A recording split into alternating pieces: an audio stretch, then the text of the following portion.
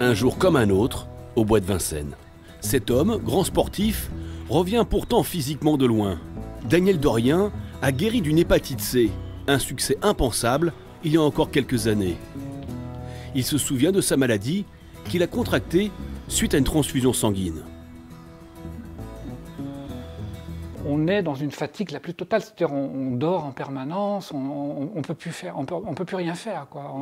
et on a l'impression que la vie nous quitte au petit à petit, qu'on a, l'impression qu'on est en train de mourir.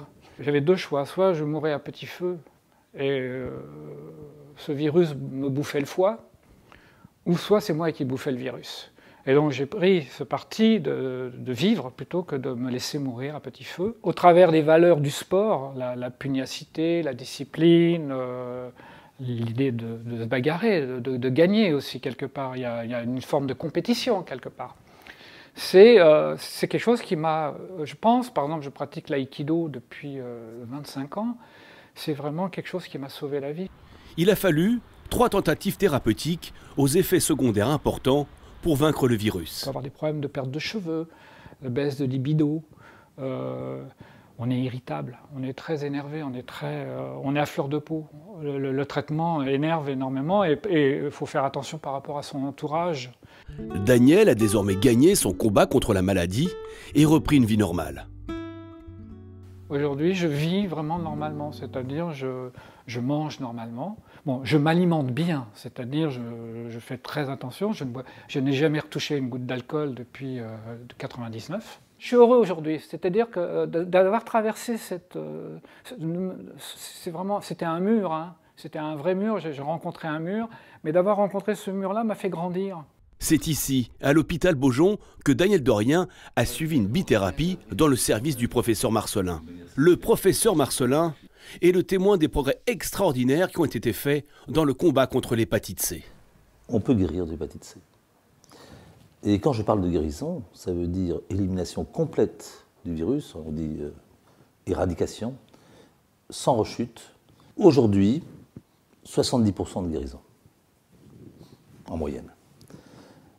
Demain, c'est probablement dans 3-4 ans, euh, ce sera 90 à 100% de guérison. On va s'approcher de 100% de guérison. Dans son service sont testés les tout derniers traitements après la bithérapie, on parle désormais de trithérapie. C'est ici, euh, entre autres, avec d'autres centres, que sont testées les trithérapies euh, pour les premiers résultats euh, de patients avant que ce soit mis sur le marché. Donc on teste aussi des molécules à venir, dans le futur, qui sont aussi découvertes et pour lesquelles les résultats sont très intéressants pour l'avenir. Alors la, la, trithérapie, il y avait le traitement classique et ancien de l'hépatite C, qui était deux médicaments, de l'interféron en injection et des comprimés de ribavirine qu'on prenait matin et soir. Et cette trithérapie, c'est en plus de ces deux médicaments, des nouvelles antiprotéases. Et vous avez euh, deux familles d'antiprotéases, le télaprévir et le bocéprévir, qui sont soit l'un soit l'autre en addition de cette bithérapie, et donc qui a augmenté les chances de guérison de l'hépatite C. Cette trithérapie a boosté l'efficacité des traitements, portant à 70% le taux de guérison. Mais les effets secondaires sont encore assez lourds. Cependant, les molécules de demain sont déjà là, avec des protocoles qui montrent 90 voire 100% de guérison et une excellente tolérance. Xavier Badois suit un traitement de ce type et ça lui convient.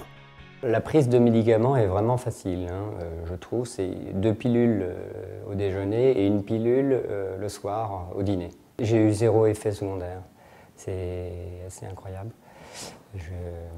Comment vous sentez-vous aujourd'hui? De semaine en semaine, j'ai senti ma récupération de volonté. On peut dire avec certitude qu'une révolution médicale est en marche.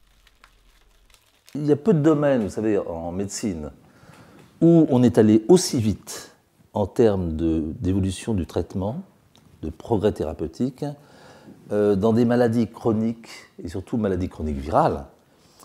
En 20 ans, on est passé de 0% de guérison à 70% aujourd'hui, 100% dans 3-4 ans. Donc c'est une révolution. On peut même espérer un jour éradiquer cette maladie. Une guerre qui commence par le dépistage. N'importe qui peut avoir l'hépatite C. Depuis 20, 30, 40 ans, sans le savoir. La plupart de mes patients qui viennent me voir, on a trouvé l'hépatite C par hasard, l'occasion d'une prise de sang.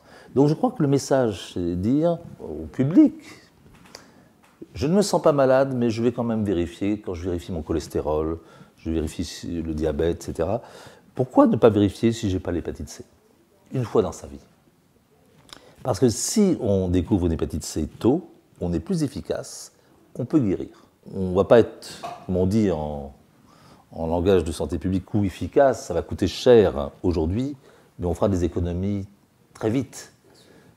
Le coût d'une transplantation hépatique, le coût de la prise en charge d'un malade avec cirrhose et des complications euh, est très élevé. Donc, dépister, traiter tôt, c'est vraiment la clé et nous avons les moyens de le faire. Il faut rappeler qu'aujourd'hui encore, 3500 personnes meurent chaque année de l'hépatite C et qu'il y aurait 90 000 personnes en France qui ne sont toujours pas dépistées.